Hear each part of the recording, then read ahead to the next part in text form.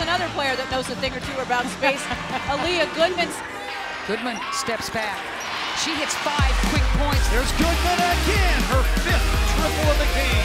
Goodman with the 21 points, so huge from beyond the arc. Goodman says no to the pick and finishes at the cup. Goodman coming off a pick, takes a step back and drains it. Goodman still white hot